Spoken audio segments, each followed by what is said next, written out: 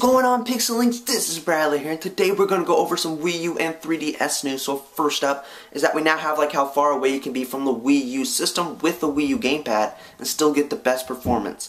So Bill Trinen of Nintendo has confirmed they have to be like about within 24 feet of the Wii U system to still get the best performance out of the Wii U gamepad. So that's a pretty nice distance. Maybe you will be able to take it to the bathroom, play it on the toilet, maybe, depending on where the toilet is in your house.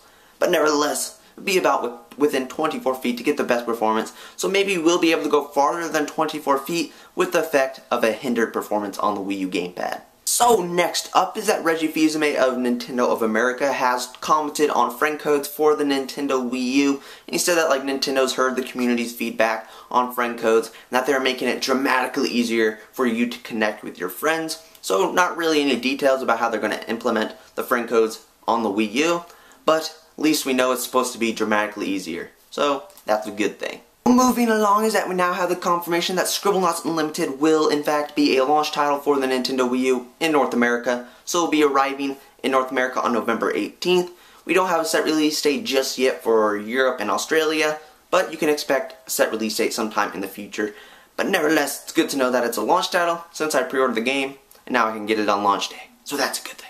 So in other news is that Bill Trinen of Nintendo has confirmed that Nintendo Land will not support online multiplayer, but instead just support local multiplayer. So basically he says that Nintendo has like a logical reason for doing this, not putting uh, online multiplayer in the game. They say that when they're looking at online play and they think it's important for the game and that the game makes sense in having online multiplayer, they're going to leverage that. So basically they didn't think it made sense by putting online multiplayer in Nintendo Land. I have to agree with that. Nintendo Land is more of the experience of playing with your friends in the same room, playing mini games with them, stuff like that. So next up is that we now have the confirmation that North America will not be selling the Wii U gamepad as a standalone product like at launch. So we know that Japan will be doing this. They will be selling the Wii U gamepad separately at launch.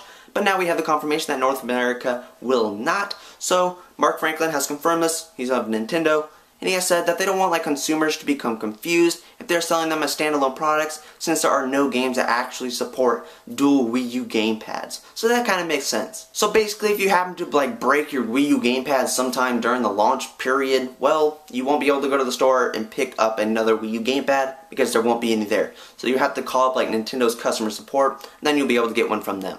Last up is that we now have some of the first gameplay footage of the Pokemon Mystery Dungeon 3DS title that will be released in Japan this year. So it's called like Pokemon Mystery Dungeon Magna Gate and the Infinite Labyrinth.